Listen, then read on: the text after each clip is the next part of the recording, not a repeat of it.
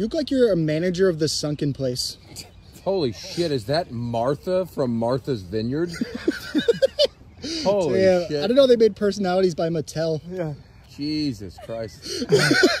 How many managers have you asked to speak to while you've been out here? She's the original Karen. The OG Karen.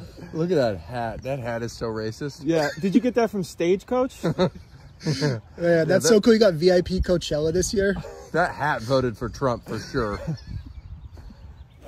Oh, okay. All right. Down the all middle. right. did just go to Stagecoach. Yes, you did. I think I got Yes, you this did. at the Long Beach flea market. Okay. I did not vote for Donald Trump. You got all the answers ready. I did not ask for a manager, surprisingly. And my mom's name is Michelle, not Karen. Mm. But you have No. been to Martha's Vineyard.